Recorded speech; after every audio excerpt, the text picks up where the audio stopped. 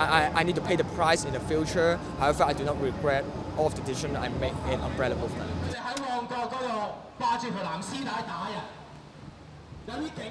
I think this prosecution gives a message that uh, if you come out and protest, that will be a consequence for you. But I think uh, for all those teenagers or uh, youngsters who have a strong belief on democracy, they will not be threatened by these kind of prosecution.